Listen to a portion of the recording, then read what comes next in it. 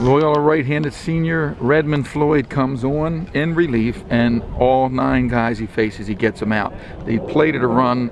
You came in with two guys on base who had walked. One scored on a sac fly, but you don't give up a hit. You shut them down. You get the win. Big win for your team. What was working for you? Uh, well, you know, I had the fastball working, and uh, I was struggling with the curveball a little bit early, but uh, came in, and that started working later in the uh, second and third innings that I pitched. So it was overall a good effort. Coach Crow has shown a lot of confidence in you. He's bringing you on, bringing you in a lot late in games. Yep. You, you might be a guy that uh, Dave Trembley could use. yeah. Now, well, you know, I just try to do the best I can. Uh, Chris Munoz gave me a good warm up in the bullpen, and uh, got a good support system with Mike Faithful, and uh, I forgot that other kid's name.